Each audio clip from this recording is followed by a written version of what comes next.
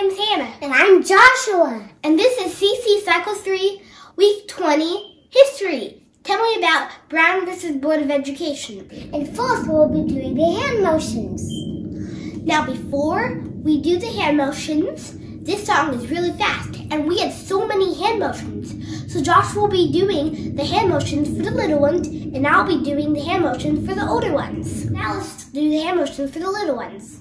In 1964, in Brown versus Board of Education, the U.S. Supreme Court ruled that the segregation of public schools by race is unconstitutional.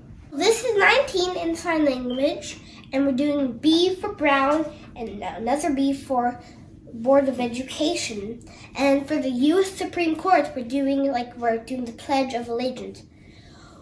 Ruled that segregation, like they're ruling uh, at, like a court, that public schools, this is public, this is school in ASL, by, by race, like your skin color, is unconstitutional.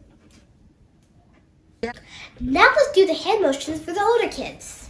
In 1964, in Brown versus Board of Education, the U.S. Supreme Court ruled that the segregation of public schools by race is unconstitutional.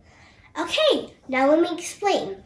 So this is 19 again, and this is 6 in sign language and 4 in sign language. And Brown, a B for Brown, and another B for Board of Education.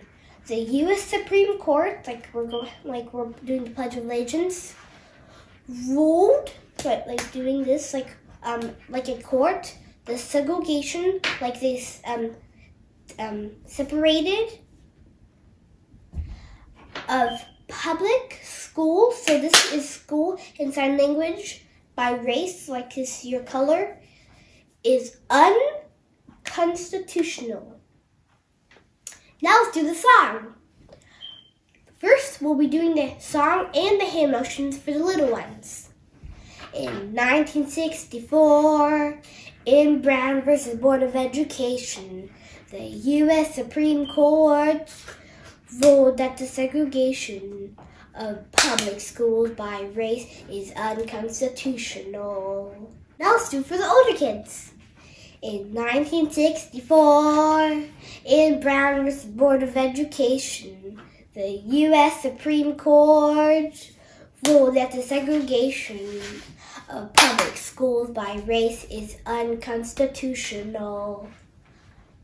Bye! See you next week. Hope that helped.